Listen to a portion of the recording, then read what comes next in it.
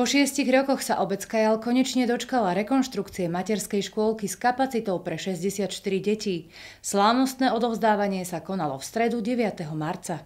V priestoroch terajšej materskej škôlky v obci Kajal bola najprv maďarská škola, neskôr sa do chátrajúcej budovy, ktorú mala vo svojom vlastníctve církev, presťahovala aj škôlka. Obec sa dlhodobo pokúšala o jej odkúpenie.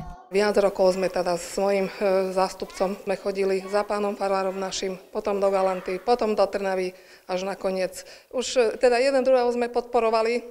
Keď už niektorý z nás to chce zdať, tak sme teda nie, poďme do toho, skúsme, lebo vedeli sme, že teda takáto výzva bude na rozšírenie kapacity. Detičky sme mali teda dosť. Nakoniec sa obci podarilo odkúpiť nehnuteľnosť za 135 tisíc eur. Následne na to mohla obec Kajal podať projekt na rekonštrukciu, vďaka ktorému získala z európskych zdrojov dotáciu vo výške 249 tisíc eur. Projekt sa podával cez Trnavský samozprávny kraj ešte v roku 2016. Všetci z nášho sprostredkovateľského orgánu na ŽUPE sa snažili pani starostke pomôcť s vypracovaním projektu tak, aby mohol byť podporený z európskych zdrojov.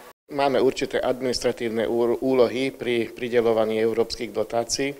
Jednak kontrolujeme projekty, kontrolujeme rozpočty pred verejným obstarávaním a čiastočne aj po verejnom obstarávaní. Ďalším kameňom úrazu bolo po odkúpení budovy práve verejné obstarávanie, ktoré prebehlo trikrát. Po šiestich rokoch veľkého nasadenia vedenia obce a Trnavského samozprávneho kraja sa deti tento školský rok v septembri konečne presťahovali do novej škôlky. Hotová je budova, hotová, hotové je ihrisko, to bolo tiež z tých 249 tisíc, to ihrisko, čo je vonku, čo vidíte, tie preliesky.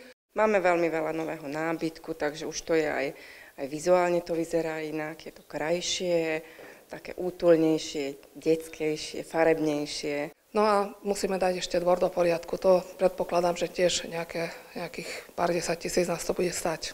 9. marca sa uskutočnilo slávnostné odovzdávanie škôlky symbolickým prestrihnutím pásky. Na rôznych miestach eh, Trnavského kraja je skôr takým malým zázrakom, že sa stretávame pri otváraní eh, zrekonštruovaných alebo eh, novopostavených škôlok. Pritom všetci vieme, že naša budúcnosť je zakodovaná presne tu. Z novej škôlky majú najväčšiu radosť najmä deti. Petra Sabová, Televízia Krea.